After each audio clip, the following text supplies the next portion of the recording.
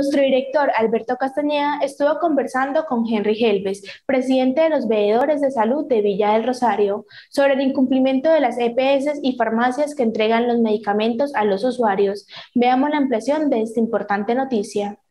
Bueno, nos encontramos con Henry Helves, es veedor, presidente de los veedores de la salud en el municipio de Villa Rosario, una persona muy activa que siempre está trabajando para que las EPS, las IPS cumplan con esa obligación que le encomienda el gobierno nacional a través del Ministerio de Salud y a través de las secretarías de salud, tanto departamentales como municipales.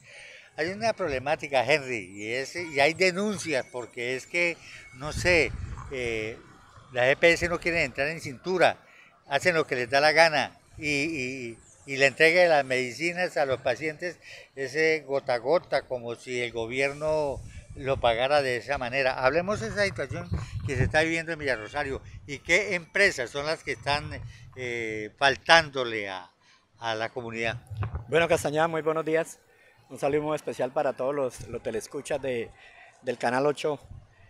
Eh, bueno, sí, para nadie un secreto, Castañeda, que venimos desde hace unos, un tiempo eh, tenemos muchas cajas de la comunidad donde las EPS no están cumpliendo, o no las EPS, digamos que las farmacias no están cumpliendo con los medicamentos que, les, que los médicos le envían a los, a los usuarios.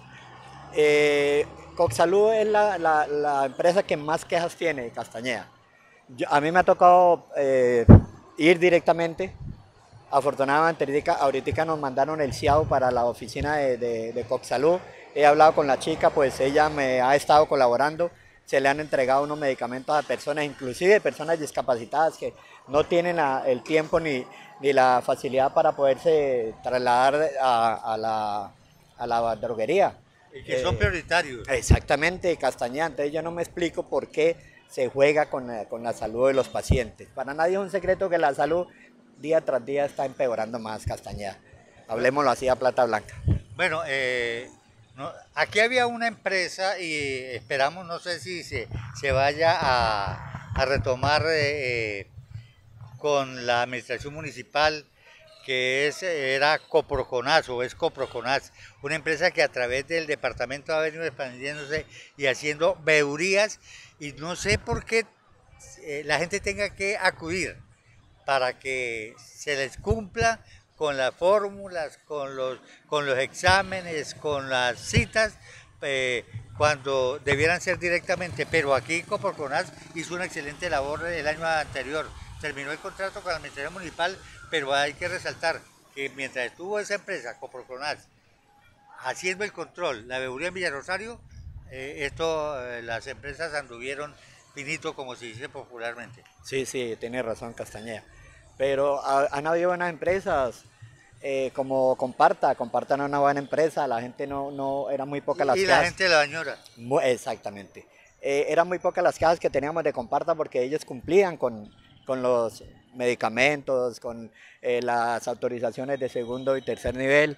Aquí el Tirienco es ese, Castañeda. Pues nosotros ya le enviamos al señor alcalde una reunión con los gerentes de las EPS, pero individual y que venga acá encargado de, los medicamentos, porque es que Castañeda, la idea es que cuando se hacen las reuniones los gerentes no acuden, ellos nunca acuden, ellos, ellos hacen lo que ellos quieran y aquí no hay ningún control. Entonces, yo sí le pedí al señor alcalde que se hiciera una reunión con el personero, con el señor secretario de salud, con el mismo alcalde y con los, los, gerentes de las EPS para que ellos pues, nos den una explicación qué es lo que está pasando, por qué se le está tomando tanto el pelo a, a los usuarios con el medicamento, por qué, cuando, por qué siempre tenemos que ir los veedores para que las personas, no, sí, ya el medicamento le llegó, no, de Castañeda, a mí me parece muy incómodo que una toda tenga que estar haciendo en vivos eh, visitas para que la, la, las droguerías le cumplan a, los usuarios.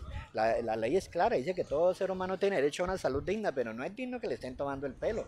Ahora, Castañeda, yo siempre lo he dicho, si usted está afiliado a una EPS en Villa del Rosario, ¿por qué para una, un, una nivel 2 y nivel 3 tiene que irse para Cúcuta. La idea es que ellos traigan sus IPS que les cumplan, porque para eso estamos viviendo en Villa de Rosario. Y si no, pues que ellos asuman la responsabilidad del transporte para esas personas cuando tengan que desplazarse para Cúcuta, porque vuelvo y le repito, si estamos afiliados a una IPS acá, debe haber una IPS que le cumpla los segundo y tercer nivel a, a los usuarios de Castañeda.